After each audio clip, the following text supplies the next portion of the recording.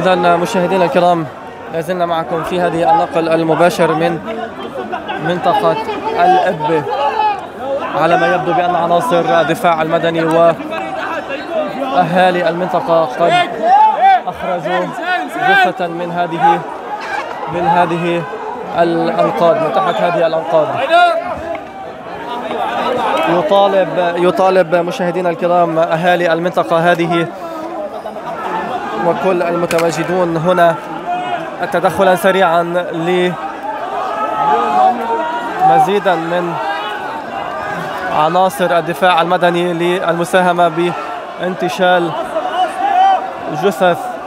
إن كان هناك جثث ضحايا في هذه المنطقة.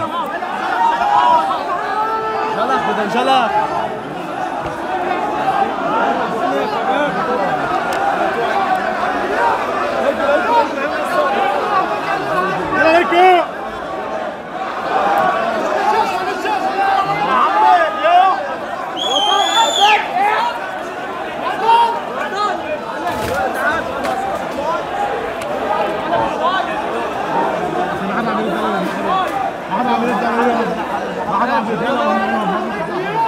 睇到我执嘅读书。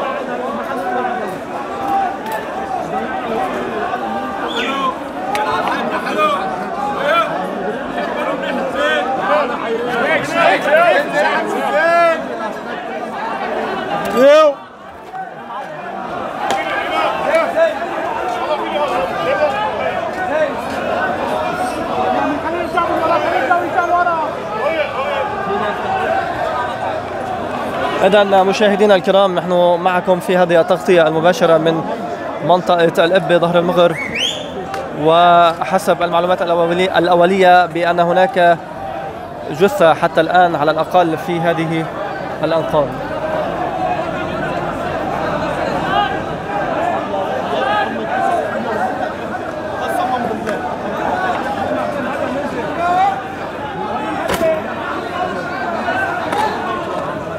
اشرف الريف يوم.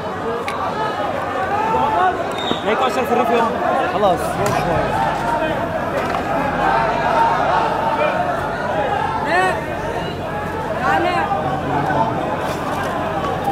خلي علي خلي علي